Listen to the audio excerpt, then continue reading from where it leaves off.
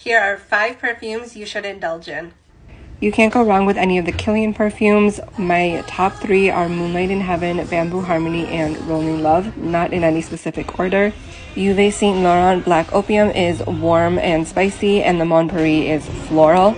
Miss Dior is also a floral scented perfume. Chance by Chanel is also fruity and floral, smells so good. More floral, fruity scents, J'adore, and then of course, you can never go wrong with any of the Chloe scents.